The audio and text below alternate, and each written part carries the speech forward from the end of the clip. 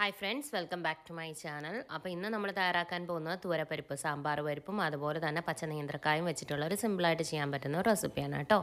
അപ്പോൾ അത്യാവശ്യം വലുപ്പമുള്ള ഒരു പച്ച നേന്ത്രക്കായ എടുക്കുക ഒരെണ്ണം മതിയാവും. ഒരുപാടങ്ങ് വലുതെടുക്കണ്ട അപ്പോൾ ഇതിലേക്കൊരു രണ്ട് പിടി നിറച്ചെടുക്കണ്ട ഒരു രണ്ട് പിടിയോളം തൂരപ്പരിപ്പ് എടുക്കുന്നുണ്ട്. ഒരുപാടങ്ങ് നിറയ്ക്കേണ്ട കേട്ടോ. എന്നിട്ട് നന്നായിട്ടൊന്ന് കഴുകി വൃത്തിയാക്കി കൊണ്ടുവരാം. ഇത് വേവാൻ ആവശ്യത്തിനുള്ള വെള്ളം കൂടി ഒഴിച്ചതിന് ശേഷം നമുക്കിതൊന്ന് അടച്ച് വെച്ച് വേവിച്ചെടുക്കാം.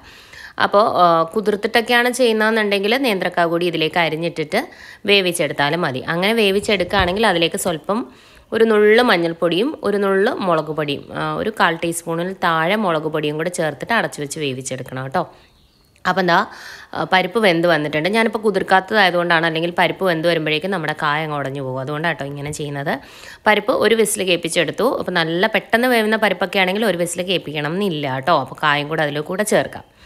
അപ്പോൾ അതിനകത്തേക്ക് വെന്ത് വന്നപ്പോൾ നമ്മുടെ പ്രഷറൊക്കെ പോയതിന് ശേഷം ഓപ്പൺ ചെയ്തിട്ട് ഇതിനകത്തേക്ക് നമ്മൾ കട്ട് ചെയ്ത് വെള്ളത്തിലിട്ട് വെച്ചിരിക്കുന്ന പച്ച നേന്ത്രക്കാത ഇതുപോലെ ചെറിയ പീസായിട്ട് കട്ട് ചെയ്തെടുക്കണം കേട്ടോ.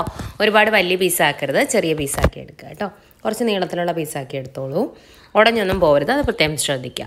ഇനി ഞാനിത് ഒന്നുകൂടെ അടച്ചു വെച്ച് ഒരു വിസിൽ കൂടി കേൾപ്പിച്ചെടുക്കുന്നുണ്ട്. അപ്പോൾ പെട്ടെന്ന് പോകുന്ന പരിപ്പൊക്കെ ആണെന്നുണ്ടെങ്കിൽ ഞാൻ പറഞ്ഞ പോലെ പച്ച നേന്ത്രക്കാ കൂടി ഇട്ടിട്ട് നിങ്ങൾ ഒരു ഒരു വിസിൽ കേൾപ്പിച്ചെടുത്താൽ മതി കേട്ടോ.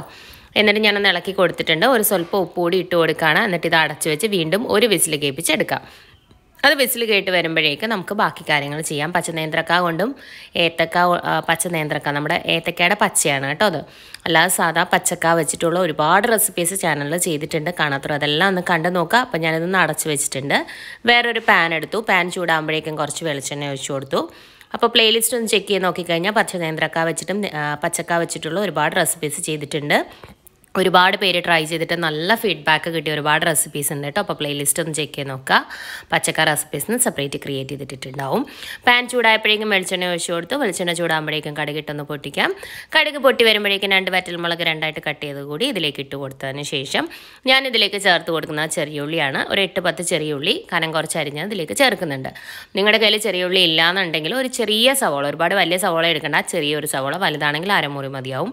നല്ല ചെറുതായിട്ട് അരിഞ്ഞ് അതിലേക്ക് ചേർത്ത് കൊടുത്തിട്ട് സ്വല്പം ഉപ്പ് കൂടി ഇട്ട് കൊടുത്തതിന് ശേഷം നമുക്കിതൊന്ന് വഴട്ടിയെടുക്കാം അത്യാവശ്യം നന്നായിട്ട് വഴട്ടിയെടുക്കണം ഇതൊന്ന് വഴണ്ട് വരുമ്പോഴേക്കും ഒരു മൂന്നാൽ വെളുത്തുള്ളി ചെറുതായിട്ട് അരിഞ്ഞത് കൂടി ചേർത്ത് കൊടുക്കണം കേട്ടോ.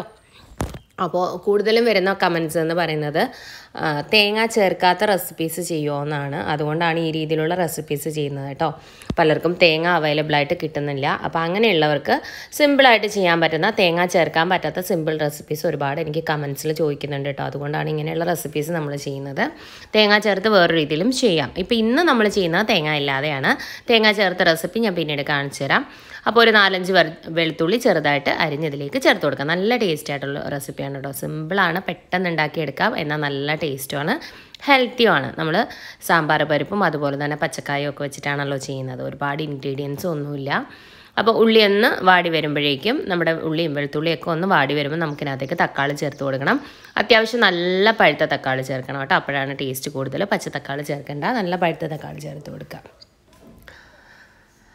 അത്യാവശ്യം ആയിട്ടുണ്ട് കേട്ടോ. ഇനി നമ്മൾ കട്ട് ചെയ്ത് വെച്ചിരിക്കുന്ന നമ്മുടെ തക്കാളി നമുക്കിതിലേക്ക് ചേർത്ത് കൊടുക്കാം. ഒരു ഇത്തിരി കൂടി ആയിക്കോട്ടെ കുഴപ്പമില്ല കേട്ടോ.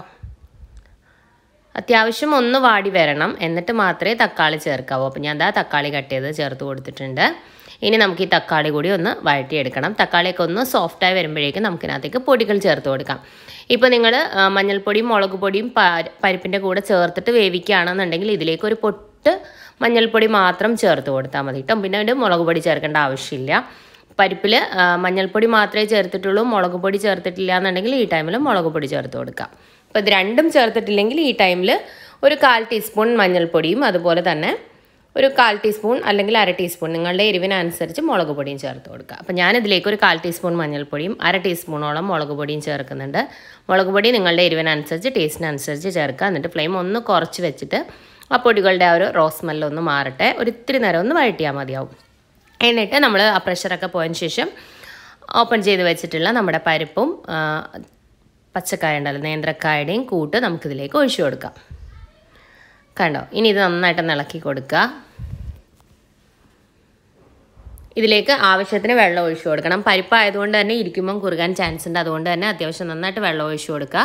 ഒരുപാട് അങ്ങ് വെള്ളം പോലെ ആവരുത് എന്നാൽ തിക്കായിട്ടും ആവരുത് കേട്ടോ. കാരണം ഇരിക്കുമ്പോൾ ഒന്നുകൂടി കുറുകും. ഒരുപാട് വെള്ളം പോലെ ആയിക്കഴിഞ്ഞാലും ടേസ്റ്റ് ഉണ്ടാവില്ല. ഈ സമയത്ത് ഉപ്പും എരിവും ഒക്കെ ചെക്ക് ചെയ്ത് നോക്കുക. എക്സ്ട്രാ വേണം എന്നുണ്ടെങ്കിൽ ചേർത്ത് കൊടുക്കാം. നല്ല ടേസ്റ്റിയാണ് കേട്ടോ. സിമ്പിളായിട്ടുള്ള റെസിപ്പിയാണ് അപ്പോൾ ഉപ്പ് കുറവാണ് നമുക്ക് ഉപ്പ് ചേർത്ത് കൊടുക്കാം. ഒന്ന് തിളക്കട്ടെ കേട്ടോ. നന്നായിട്ടൊന്ന് തിളച്ച് വരണം. ചെറിയുള്ളിയാണ് കൂടുതൽ ടേസ്റ്റ് ചെറിയുള്ളി ഇല്ലാന്നുണ്ടെങ്കിൽ മാത്രം സവോള ചേർത്ത് കൊടുത്താൽ മതി. അപ്പോൾ ഉപ്പ് ചേർത്ത് ഉപ്പ് ചേർത്തിട്ടൊന്ന് ഇളക്കി കൊടുക്കാം. ചേർക്കുമ്പോൾ ചൂടുവെള്ളം ചേർക്കുക കേട്ടോ. പച്ചവെള്ളം ചേർക്കാതിരിക്കുക. എപ്പോഴും ഇതിലേക്ക് വെള്ളം ചേർത്ത് കൊടുക്കുമ്പോൾ ചൂടുവെള്ളം ചേർത്ത് കൊടുക്കുക. വെള്ളം കുറച്ച് തിളപ്പിച്ച് വെക്കുക. എന്നിട്ട് അതൊന്ന് ചൂടുവെള്ളം ഒഴിച്ചു കൊടുത്താൽ മതി. പച്ചവെള്ളം ഒഴിച്ചു കഴിഞ്ഞാൽ ആ ഒരു ടേസ്റ്റ് തന്നെ മാറിപ്പോവും. നന്നായിട്ട് തിളക്കട്ടെ. ഇപ്പോൾ ഒക്കെ ആണ് കേട്ടോ. ഇനി നമ്മൾ എന്താ വേണ്ടതെന്ന് വെച്ചാൽ ഇതൊന്ന് തിളയ്ക്കണം. ഒരുപാട് ഇട്ട് ഇനി തിളപ്പിച്ചെടുക്കേണ്ട ആവശ്യമൊന്നുമില്ല. ജസ്റ്റ് ഒന്ന് തിളച്ച് കിട്ടിയാൽ മതി. ഇതിലേക്ക് നമുക്ക് ആവശ്യത്തിന് കറിവേപ്പില ചേർത്ത് കൊടുക്കാം. ഒന്ന് തിള തുടങ്ങുമ്പോൾ ഫ്ലെയിം കുറച്ചൊന്ന് കുറച്ച് വെച്ചിട്ട് ഒന്ന് ചൂടാക്കി നന്നായിട്ടൊന്ന് തിളപ്പിച്ചെടുത്താൽ മതി കേട്ടോ. അപ്പോൾ ഇതിലേക്ക് നമ്മൾ വെള്ളം ചേർത്തിട്ടില്ല. ഞാനൊരു അര ഗ്ലാസ്സോളം ചൂടുവെള്ളം ചേർത്ത് കൊടുക്കുന്നുണ്ട്. അപ്പോൾ പരിപ്പ് വെന്ത് വരുമ്പോൾ വെള്ളം ഇല്ലയെന്നുണ്ടെങ്കിൽ അതിനനുസരിച്ച് വെള്ളം ചേർത്ത് കൊടുക്കുക. അപ്പോൾ നിങ്ങൾക്ക് പരിപ്പിൽ വെള്ളം കുറവാണെന്നുണ്ടെങ്കിൽ അതിനനുസരിച്ച് അര ഗ്ലാസ് അല്ല അതിൽ കൂടുതൽ വെള്ളം ചേർക്കണം. അപ്പോൾ എനിക്ക് അത്യാവശ്യം വെള്ളം ഉണ്ടായിരുന്നു അതുകൊണ്ടാണ് ഞാൻ അര ഗ്ലാസ് ചേർത്തത്. ഇനി നമ്മൾ ഇതിനകത്തേക്ക് ആവശ്യത്തിന് കറിവേപ്പില ചേർത്ത് കൊടുക്കും. കറിവേപ്പിലേക്ക് എത്രത്തോളം ചേർക്കുന്നോ അത്രത്തോളം ടേസ്റ്റാണ് കറിവേപ്പിലേക്ക് നാടൻ റെസിപ്പീസൊക്കെ ആകുമ്പോൾ എപ്പോഴും കറിവേപ്പിലേക്ക് നന്നായിട്ട് ചേർത്ത് കൊടുക്കുക. അതുപോലെ തന്നെ നല്ല പഴുത്ത തക്കാളിയും എടുക്കുക. അപ്പോഴാണ് കറിക്ക് ആ ഒരു ശരിക്കുള്ള ടേസ്റ്റ് കിട്ടുക. ഒരുപാട് മസാലപ്പൊടികളൊന്നുമില്ല. സിമ്പിളായിട്ട് ചെയ്യാൻ പറ്റുന്ന ഒരു കറിയാണ് കേട്ടോ. അപ്പോൾ എന്താ നമ്മുടെ കറിവേപ്പിലയും കൂടെ ചേർത്തിട്ട് ഒന്ന് ഇളക്കി കൊടുത്തതിന് ശേഷം നമുക്ക് ഫ്ലെയിം ഓഫ് ചെയ്യാം. കുറച്ച് കുറുകാണെന്ന് തോന്നുകയാണെങ്കിൽ ഒരു ഇത്തിരി കൂടെ വെള്ളം ചേർത്ത് കൊടുക്കാൻ മറക്കരുത് കേട്ടോ. ഒന്നുകൂടെ ഒന്ന് തിളച്ചിട്ട് നമുക്ക് ഓഫ് ചെയ്യാവുന്നതാണ്. കറിവേപ്പില കുറച്ചുകൂടി കട്ട് ചെയ്തിട്ടാൽ കുറച്ചുകൂടി ആ ഒരു ഫ്ലേവർ കറക്റ്റായിട്ട് കിട്ടും കേട്ടോ.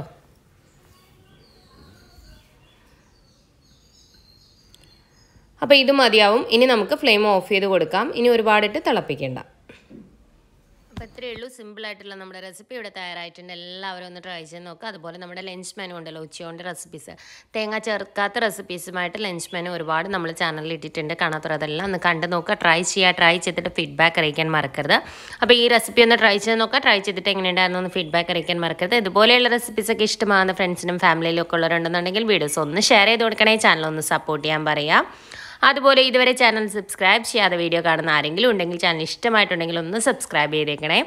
സബ്സ്ക്രൈബ് ബട്ടൺ പ്രസ് ചെയ്യുമ്പോൾ അടുത്തൊരു ബെൽ ഐക്കൺ വരും. ബെൽ ബട്ടൺ പ്രസ് ചെയ്യുക മൂന്ന് ഓപ്ഷൻസ് കാണിക്കും. ആദ്യം കാണുന്ന ഓൾ തന്നെ പ്രസ് ചെയ്യുക എന്നാലേ ഞാൻ പുതിയ പുതിയ വീഡിയോസ് ഇടുമ്പോൾ നിങ്ങൾക്ക് എന്റെ നോട്ടിഫിക്കേഷൻ കിട്ടും.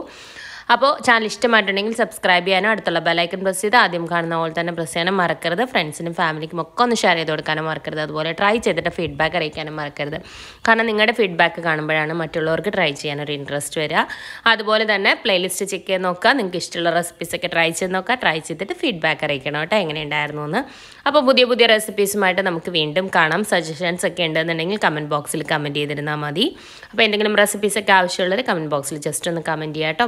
പുതിയ റെസിപ്പിയുമായി നമുക്ക് വീണ്ടും കാണാം. Thank you friends thank you for watching